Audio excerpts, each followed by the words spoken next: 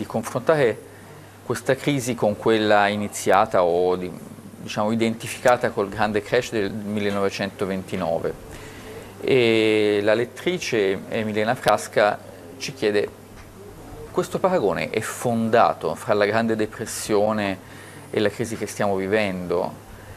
E mh, come se ne riconosce eh, la, la, la gravità? Veramente possiamo paragonare questa fase storica con quella che portò alla seconda guerra mondiale, all'ascesa del nazismo, al radicamento del regime fascista? Direi che al di là delle apparenze ci sono grandi differenze che devono essere enfatizzate rispetto alle similitudini. Cosa c'è di,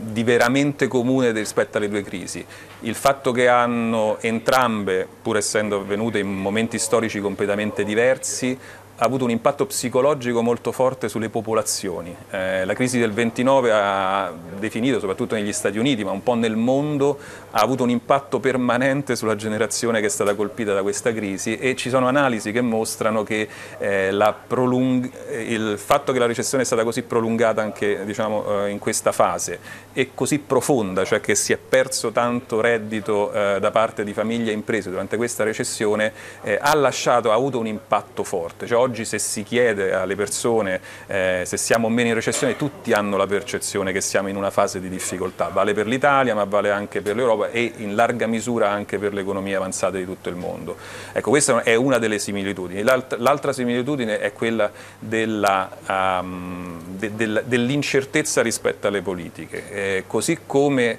eh, nel 29 non si era pronti dal punto di vista intellettuale anche delle politiche economiche con le ricette per poter intervenire e sanare la crisi, sono passati degli anni prima che si è trovato la, la, la strada giusta, eh, un po' durante questa crisi è stata la stessa cosa, eh, ci sono state alcune misure concordate a livello internazionale che già dal 2008 hanno fatto sì che ci fossero degli interventi per ridurre l'impatto della crisi dal punto di vista sociale e finanziario, ma ci sono stati anche tanti errori e quindi poi si è dovuto imparare dagli errori. Questo tratto è molto simile a quello che eh, abbiamo sperimentato nel 1929, c'è stato un processo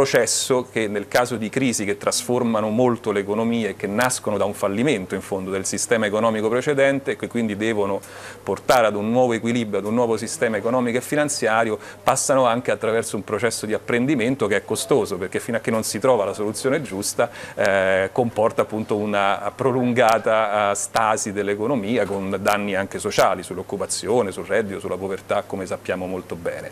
Eh, però appunto le differenze sono molto grandi,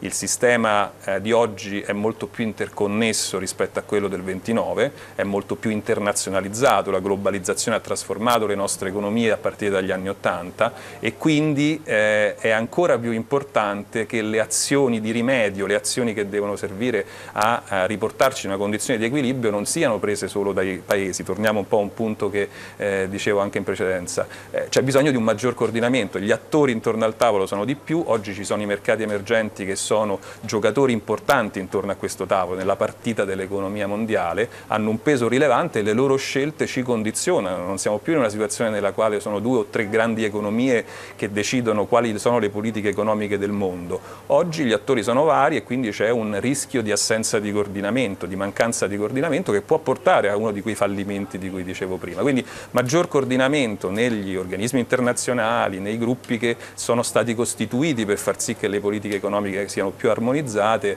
è sicuramente importante. Uscire un po' da una logica nazionale.